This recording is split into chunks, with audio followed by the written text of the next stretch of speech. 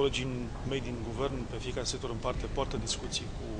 actorii pe acest sector, pe fiecare sector în parte și dacă vor rezulta amendamente um, pe această ordonanță, amendamente care am spus trebuie să păstreze principiile ordonanței 114,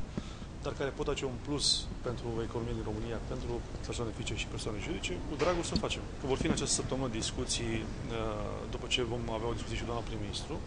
toți colegii din guvern coordonarea aceste sectoare, după care se vor continua discuțiile pe, cu fiecare actor din, din piață și, într-un final, sperăm noi cât mai repede să avem o poziție clară,